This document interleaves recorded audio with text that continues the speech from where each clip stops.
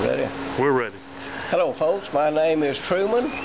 Some people call me Freeman, Herman, Thurman, or Sherman, but you can call me anything you want to. But come on out to Gloff Ford and see the deals that we have for you. And when you see some of the prices we have, you're going to call me crazy. That's So right. come on right. out. We'll leave the motor running for you. All right.